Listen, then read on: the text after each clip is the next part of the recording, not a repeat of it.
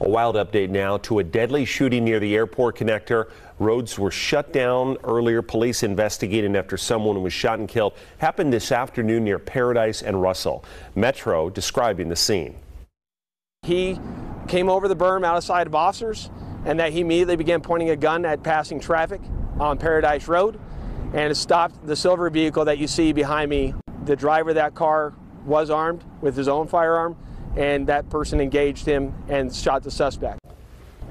Metro Police providing this update just moments ago. Police are asking any drivers who may have been on Paradise Road at the time to please contact them with any additional details. That information would be very helpful to them.